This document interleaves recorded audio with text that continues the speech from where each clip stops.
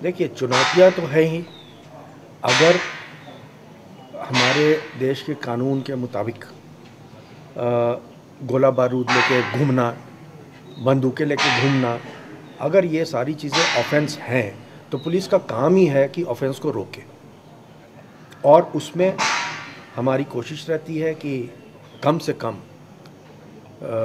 Force का इस्तेमाल हो, जितनी जल्दी हो, अगर दूसरी पार्टी, आपने देखा होगा अभी हाल में माँ बाप आए और दो दो लोग थे अनंतनाग में, उनमें से एक बच्चा बाहर आ गया।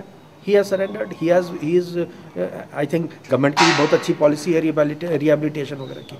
तो that is our first choice we would like that to happen लेकिन अगर आपके ऊपर कोई गोली चला रहा है तो आपको भी हक है कि आप अपना अपनी सुरक्षा कर सके। साथ ही साथ सिर्फ़ हम नहीं हैं हमारे इर्द गिर्द काफ़ी ऐसे लोग हैं सिविलियंस हैं जो कि इसमें लपेटे में आ सकते हैं। तो उनको भी बचाना तो हमारा फ़र्ज़ है ना। ये है कि कानून के तहत भी ये प्रोविज़न है कि अगर इस तरह का सिचुएशन है चाहे वो राइटिंग हो चाहे वो गोलाबारी गोलाबारी आपके ऊपर हो रही हो तो जो फोर्स जस्टिफाइड है उसको आप इस्तेमाल कर सकते हैं।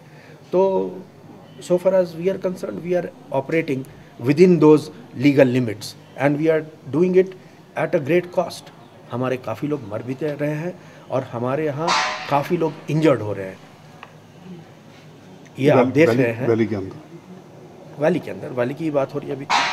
लेकिन इस इलाके में भी मैं अभी रिव्यू कर रहा था कि कम से कम 2014 से लेकर के अभी तक कई एक ऐसी वारदातें हुई हैं जो इस बात को दर्शाती है कि हम लोग चौकन्ने रहें तो ही अच्छा रहेगा और पब्लिक का भी इसमें सहयोग रहेगा तो हम जल्दी से जल्दी किसी भी खतरे से निपटने के लिए तैयार रहेंगे